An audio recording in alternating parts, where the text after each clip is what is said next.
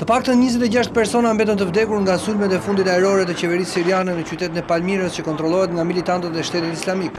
Observatori sirian për të drejtat e njeriut me bazë në Mbretërinë e Bashkuar ka bërë të ditur se mes viktimave në Palmira ishin edhe dymbëdhjetë militantë të ISIS. Sulme nga ajri ka patur edhe në qytetin e Idlibit ku u vranë shtatëmbëdhjetë persona. ISIS ka marrë kontrollin e plotë të Palmirës në muajin maj, ndërsa Idlib është një bastion i një aleance të grupeve xhihadiste. Ditën e enjte, një zyrtar i ushtrisë siriane bëri të ditur për Reuters se forcat qeveritare kanë nisur menjëherë nga përdorimi i armëve të reja kundra-ajrore dhe tokësore, me të cilat i ka furnizuar Rusia, ndërsa të premten ministrat e mbrojtjes së Shteteve të Bashkuara dhe Rusisë kanë zhvilluar bisedimet e para në lidhje me konfliktin në Siri.